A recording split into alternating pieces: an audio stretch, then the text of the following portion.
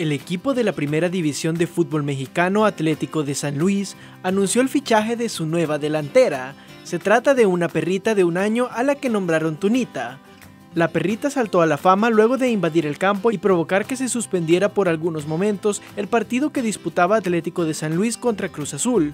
Tras la invasión de Tunita, el encuentro que se mantenía 0 a 0 terminó con un marcador de 2 a 1 en favor del cuadro atlético, por lo que el club pidió a los aficionados que ayudaran a encontrar al animal que se convirtió en talismán para la victoria.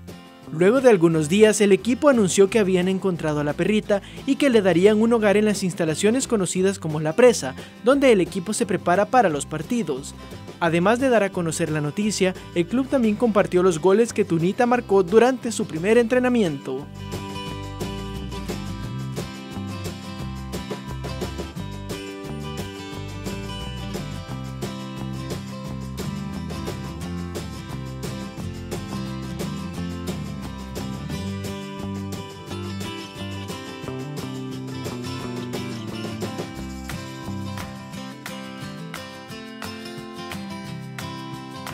Este es un informe de la prensagráfica.com.